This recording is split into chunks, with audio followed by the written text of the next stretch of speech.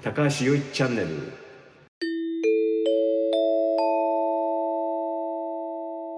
韓国でうん。日本で開発された超高級ブドウが勝手に栽培販売されていたっていうニュースが出たんですけどこれはあの、えっ、と、産経系のところで、なんか、独自のニュース点ではい。話題になってましたけどね。はい。い、や、もう本当にまた韓国かって話だよね。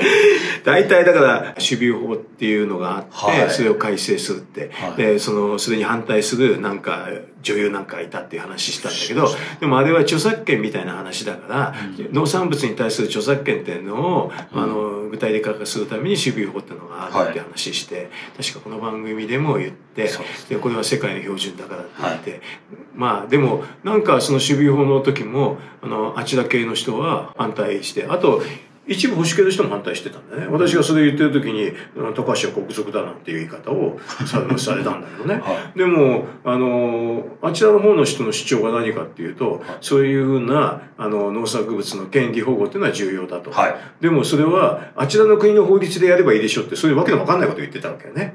あちらの国って法律でそんな著作権なんかまともにないからね。あちらの国の法律でやるなんてもうほとんどもうね、日本のやつを騙されて平気でいるっていうに近いじゃない。はい。で、これもともと、ピョンチャンオリンピックの時にね、はいはいはい。あの、いちごのもぐむタイムで、はいそのすごい美味しいいちごってんで、もともとは日本から持ち出したやつだろうって話になったわけね。平気なんだよね、そういうのことについてね。今回もあれでしょ？あの、韓国の人って見逃してくれって言ってるんでしょ、はい。見逃すわけないじゃない。何言ってんだって話だよ。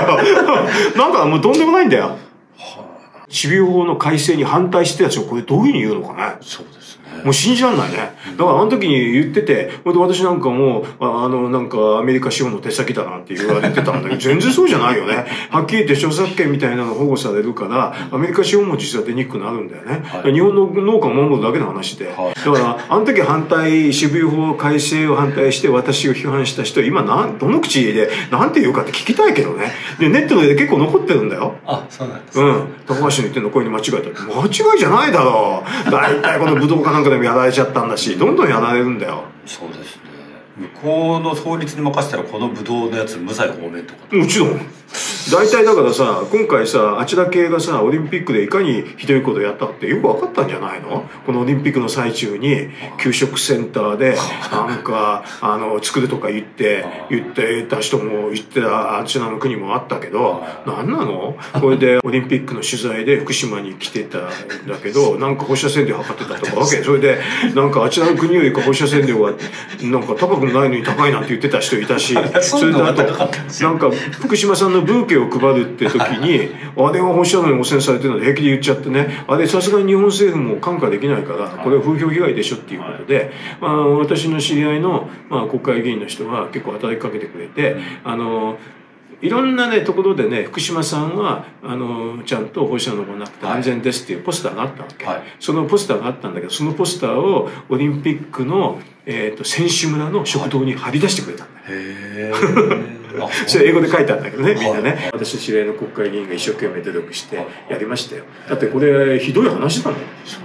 今回のこのオリンピックで、あちらサイドの人が何言うかってよく分かったんじゃないの？いやこれ中国が著作権とかグダグダなのはそうだと思ってたんですけど、うん。韓国って一応自由経済いや、だから、うん中国の手先がこういうこと言うって、確か番組で言ったんだけど、その手先として韓国もあったってことだけですよ。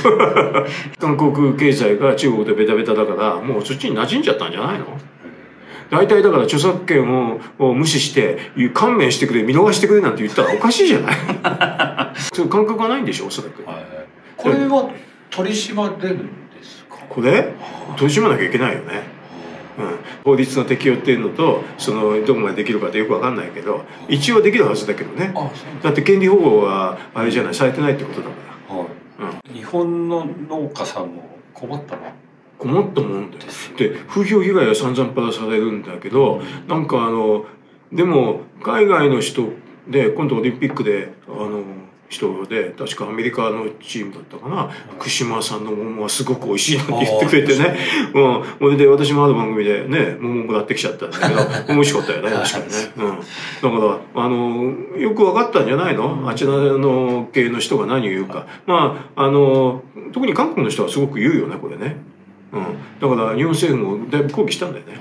オリンピック中にもかかわらずねちょっと風評被害においてね看過できない言い方だよね、で中国韓国の選手団がいろいろ言っててで韓国政府は中国は関係ないって言ってるんだけどそれは韓国政府が言わなかったら選手の人言うわけないだろうと思うけどね。こういうのに対して農水省は結構ちゃんと言ってるんですか？本当はここで法律やった時のあのなんていうかなあの対応策としてね、はい。農水省の問題もあると思うよ。どこまで言うかとかね、はい。その権利保護をどうするかとはいだから逆に言うと制裁措置出してもいいんじゃないの？